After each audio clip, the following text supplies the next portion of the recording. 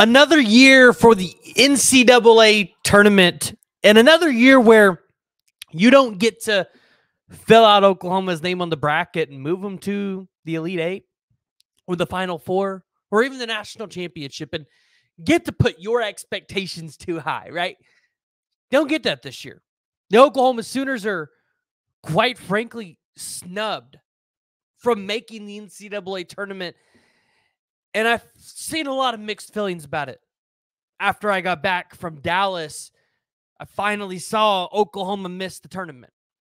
And I asked myself, how is this possible?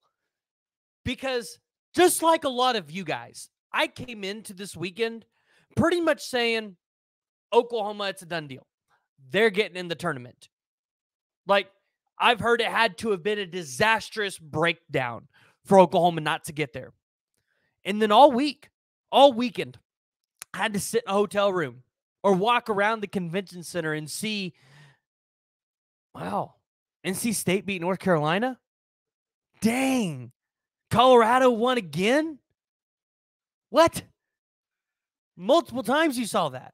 And then you see the news that Virginia is going to play Colorado State in a play-in game. You couldn't even put Oklahoma above Virginia. It's this is extremely frustrating for Oklahoma fans. And I don't know what the answer is at this point. Because I feel like OU fans, we want a good product for basketball. But every time we show up for basketball, the product's not good. And I look at the multiple times OU fans filled Lloyd Noble this year. And what did Oklahoma do with it? They squandered every opportunity. And then the one game that I went to this year because I just happened, and the only reason why I went was because there was a softball game there that I was going to, and the basketball game followed the softball game. It was the Houston game and it was a sold out game. But if you looked around this arena, that was not a sold out arena. Plenty of empty seats. And if you're an Oklahoma fan, it's hard because there's no success behind it. You're in a conference that, dare I say, cares way too much about basketball.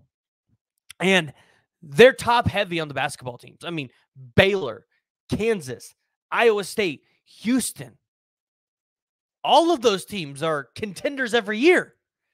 And then your middle of the road teams could contend in a lot of conferences. And now you're going to the SEC where you probably have a little bit better of a chance to be good. And I've heard that argument from people, but I also see Auburn and Alabama and Tennessee and Kentucky. Oh, those four teams are up there every year. Are you not going to have the same problem in the Big 12 that you've had in the SEC? You guys have to let me know down that know down in the chat. But regardless, how you look at it, Oklahoma was 13 and 1 to start the season. 13 and 1 to start the season. And they beat teams like USC and Iowa, who at the time were being hyped up as good teams. And they also beat Providence. I don't know what else you can ask of Oklahoma. They went out of conference and played really, really well. Outside of North Carolina, they won all of their out of conference games. And props Oklahoma, they lost to, to one of the best teams in the country. And then they turn around in conference and they're 18 and 6 before Hugley gets hurt, before you started seeing injury problems with Javian McCollum, and before you started seeing injury problems. Like you say, if Oklahoma has two out of the three guys that were hurt, there's a chance that they win one of their last two games, maybe win in the Big 10 12 tournament. And if they do that, they probably get in. They just needed one more win. A team that literally was 13 and 1 to start the season. They were a I think their time they were a top 10 team. They lost on the road to Kansas by 12. All right, maybe they shouldn't have done that.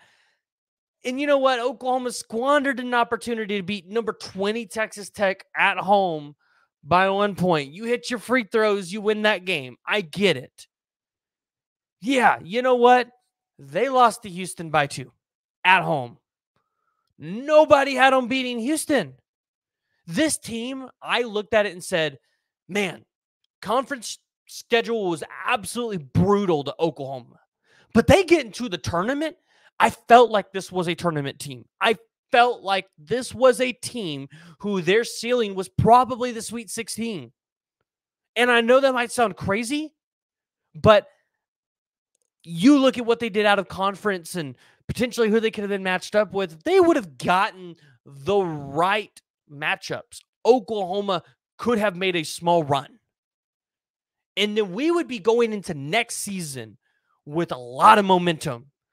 Because right now, you only have two recruits signed in 2024. Two recruits. You have the number 121st, 121st overall player, power forward, out of Fort Worth, Texas. And then you have the 228th ranked player in the country at guard as well. You're going to have to hit the portal now. And you're going to have to get a couple more guys. And quite honestly, you're going to have to go get another big. Because as we've seen, when Hugley's out, you're screwed. So if you're Oklahoma, you've got to fix a couple needs this offseason. And I don't know how many of you saw Porter Moser and the Oklahoma basketball staff, they did announce they're not going to be accepting an NIT bid. In a statement from Porter Moser, first and foremost, I loved coaching this group of young men and standing with them as they battled night after night. They showed incredible resiliency, love for one another, and a passion to win.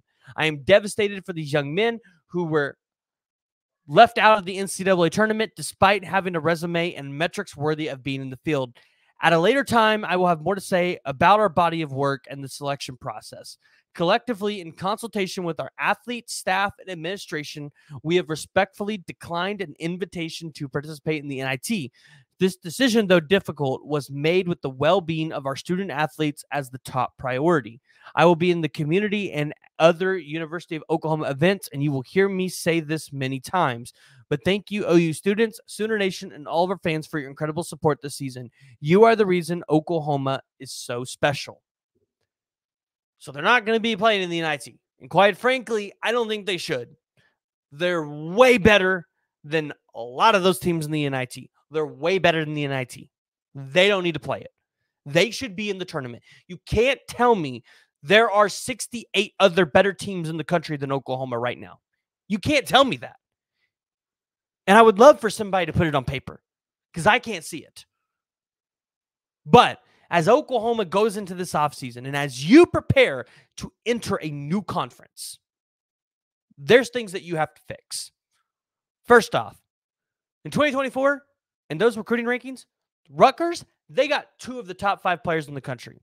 If you're Oklahoma, you've got to do better in recruiting. Here's the reason why you are number 12th in the SEC recruiting rankings. Number 12. Behind schools like Mississippi State, who just beat you in the uh, to get into the tournament, A&M, South Carolina, Missouri. You should be recruiting better than them anyways. So that's your first thing you got to fix. Second off, there are two players that have been offered by Oklahoma that I think you need to land. The UT Martin Jr., Jacob Crews, who is a 6'8 guard that averaged 19.4 points per game, shooting nearly 42% from three this season. You need him. You need more scorers. You also need to get the JUCO prospect, Jeff, and I believe it's uh Nwankwo, who I believe is from the area, if I remember. I think I saw something on Twitter. I think he's from the area. But he's six six forward, 18.6 points per game, 7.6 rebounds, 2.1, shooting 50% from the field, 36 from three. So if you're Oklahoma, you've got to go out there and you've got to hit the transfer portal hard. You're going to get an opportunity to get a head start. On any centers, you need to get one of the top three best centers out of the portal because you need to add more depth to this team. And then you need to go into next season and have the same start that you did this year. But instead of falling off, because you're in the SEC, a conference that we all believe is going to be a little bit more competitive for Oklahoma in terms of what they can compete with, maybe on their level. You need to go out there and you need to at least finish 50% next year in your conference schedule. And you do that, you're by golly, by golly in this in this tournament. You're not being left out. And you're probably top 6 seed at that point. If you do that, that's the expectations that I want for Oklahoma next year.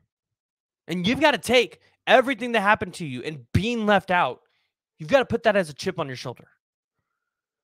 But the fact that this committee did not pick Oklahoma to be in this tournament is an absolute atrocity. And yes, this team blew opportunities last year. I am not going to be the person that overlooks that. You cannot lose a game to Texas Tech by one point when you missed all those free throws. You cannot lose to TCU in the first round. If you had an opportunity to play guys, you should have played them. Because it's your lives were on stake right there. Your tournament lives were on stake. Now there's guys that don't get to finish their college career in the tournament. You, I mean, the Houston game's hard because Houston got favor of a three at the end of halftime, and the score difference was two. But I don't know if I can say you can't lose to Houston by two, but because Houston was the number one team in the country and one of the best defenses in college this year.